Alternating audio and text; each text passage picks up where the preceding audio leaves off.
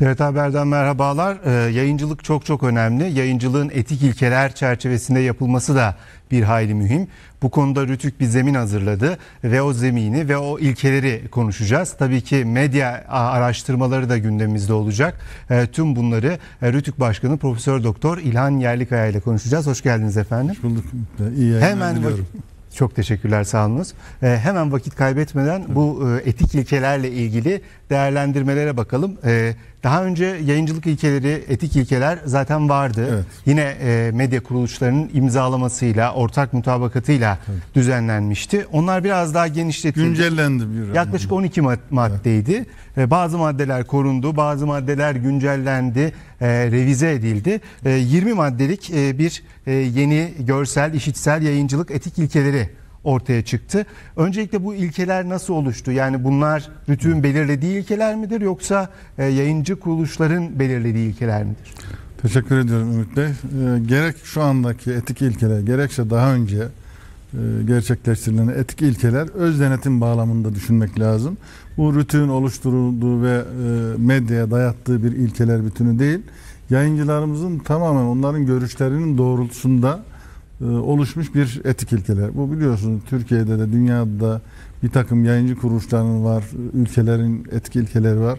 6112 sayılı yasamızın dışında bu. Yayıncılar bunu e, kendileri kabul ediyorlar. Çünkü o öz denetim Bir mekanizması. Yayın ilkeleri Sanki rütüğün dayatması gibi yasada, algılanıyor. yasa metninde Yok, yayın ilkeleri var. ayrı. Bütün televizyonlar, Tabii. yayıncı kuruluşlar, Tabii. radyolarda aynı şekilde uymak durumunda.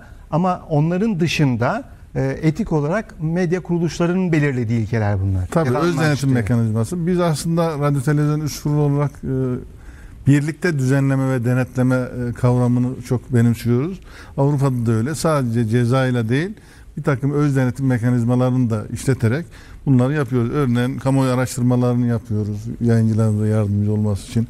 Etik ilkeleri biliyorsunuz kamuoyunun huzurunda. Biz orada sadece belki izleyici olarak vardık Rütük veya koordine eden olarak. bir Ama araya getiren Bunlar defalarca gönderdik. Yayıncıların görüşlerini aldık. Şu mu olsun, bu mu olsun. Bu istişarelerin neticesinde oluşmuş bir şey ve bunların bir kısmı, kısmı da bir takım tecrübelerin ve uygulamaların neticesinde ortaya çıkmış. Birazdan konuşacağız muhtemelen. Hemen konuşalım, hemen başlayalım. Çünkü e, başka bir konuyu da konuşacağız. Televizyon izleme eğilimleri araştırması var. Tabii.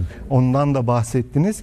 E, onları da konuşacağız. E, ama bu ilkelerde mesela dikkat çeken başlıklar hani eskileri çok konuşmak gerekmiyor aslında. Tabii. Çünkü onlar bilinen maddeler. Yenilerden dikkat çekenler mesela Türkçe hassasiyeti Tabii. çok çok önemli. E, onu vurgulamışsınız. Milli iradeye saygı. Evet. Milli iradeye saygılı olmayı taahhüt ederiz diyor medya kuruluşları. Bu, Bu- madde neden kondu mesela? Doğru. Nasıl Güzel. çıktı ortaya? Ee, Ümit Bey burada çok güzel bir noktaya temas ettiniz. Birincisi Türkçenin doğru güzel kullanımı. Bu bizim yasamızda da var. Öncekilerinde bazılarında bu maddeler var. Ama biz burada genişlettik.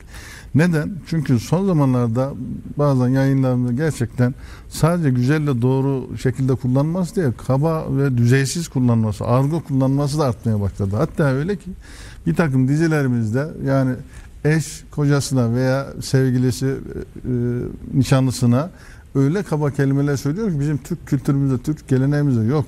Yani ben burada söylemeye çekiniyorum. Nişanlısına öküz, hayvan bilmem yani böyle bir şey biz, bizim toplumumuzda yok. Dolayısıyla biraz daha açtık meseleyi. Yoksa farklı bir şey de yine sizin söylediğiniz gibi milli iradeye saygılı olmayı e, özellikle koyduk. Çünkü bunu zaten medyamız 15 Temmuz'da uyguladı arkadaşlar. Buraya yansımasıdır aslında. Demokrasinin yanında durdu, darbenin yanında durmadı. Aşağı yukarı topyekun diyebiliriz. Bazı farklı sesler olsa bile milli iradenin yanında durdu. Burada biz bunu vurguluyoruz. Daha önceki darbelerde Aslında biraz o duruşa bir saygı duruşa duruşu bu. Saygı duruştur bu. Onun tezahürüdür burada.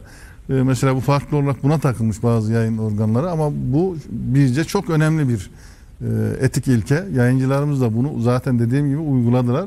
Onlara bir anlamda teşekkürün de bir nişanesi olarak biz bunu görüyoruz.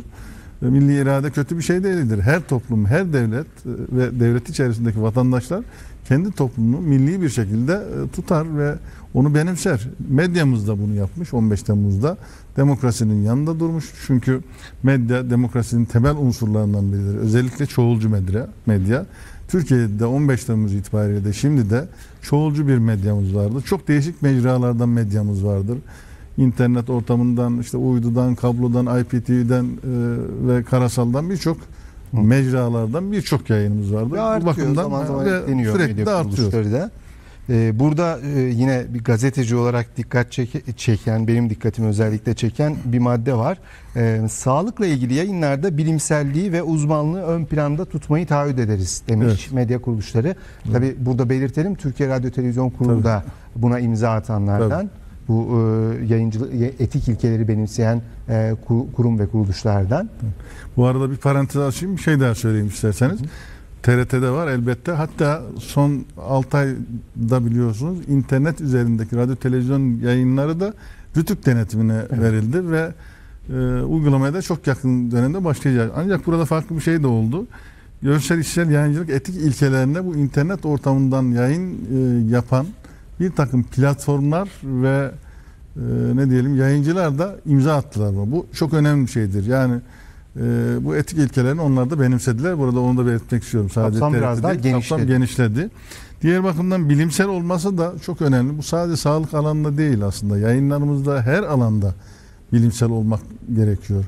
Ee, Bazen öyle şeyler söyleniyor ki bilimsellikten uzak çocukların, gençlerin hatta insanların kafasını karıştırıcı şeyler söylenebiliyor. Dolayısıyla yayıncılarımız buna da dikkat etmesi lazım. Yani e, bir psikolog, bir sosyolog, bilimsel bir akademisyenin denetiminde yapılan e, programlar, diziler, filmler çok daha güzel oluyor. Hı hı. Ee, şimdi e, Fırat'ın doğusuna operasyon konuşuluyor Evet. gündemde. Gün boyunca da yayınlarımızdaki bundan sonra da e, oradaki gelişmeleri Ambean TRT olarak duyurmaya sürdüreceğiz. E, orada da tabii ki yayınlar yapılacak. Buradaki ilke aslında e, bizim göz önünde tuttuğumuz ve Tabii. herkesin göz önünde tutması gereken bir ilke. Tabii. Terör örgütlerinin amaçlarına hizmet etmemek. Tabii. Yani burada e, yayıncılarımızın kabul ettiği bütün ilkeler gerçekten çok önemli. Yayıncılarımızı e, tebrik ediyorum. Böyle bir hazırlık yaptıkları ve buna da imza attıkları için. Bu istişarelere katıldıkları için. Dediğiniz gibi önümüzdeki günlerde muhtemelen bir Türkiye'nin harekatı olacak. Burada da hem milli duruş yapacak hem de e, ülkemizin bölünmez bütünlüğüyle ilgili teröre e, destek vermeyecek şekilde yayınlar yapmak elbette önemli. E, Çünkü bir biliyorsunuz Orta Doğu'da mücadele var. Terörle mücadele. Birçok terör örgütleri var.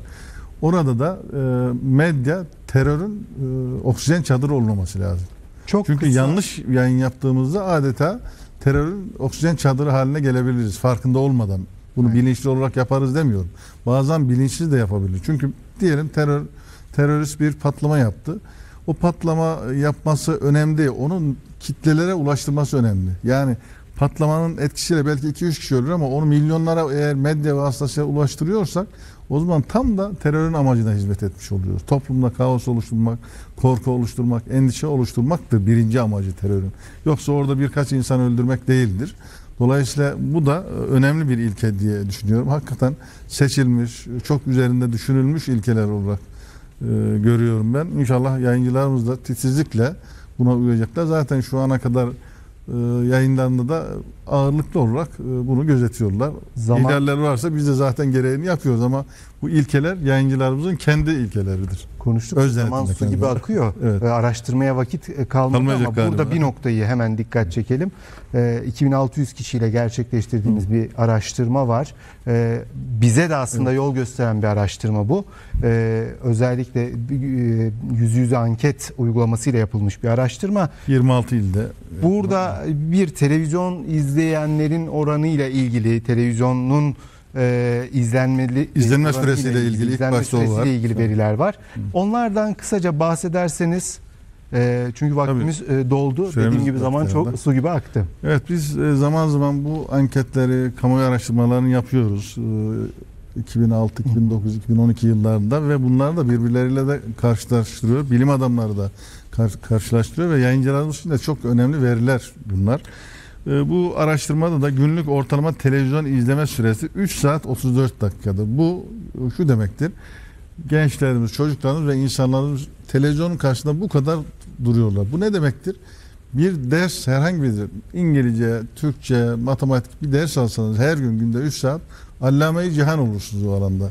Yani televizyon bu kadar güçlü, etkin bir 3 saat veya 3,5 saat izliyor. Sorumluluğumuzu biraz daha sorumluluğumuzu bir veri artırıyor. aslında. bu. Dolayısıyla bu bakımdan önemli.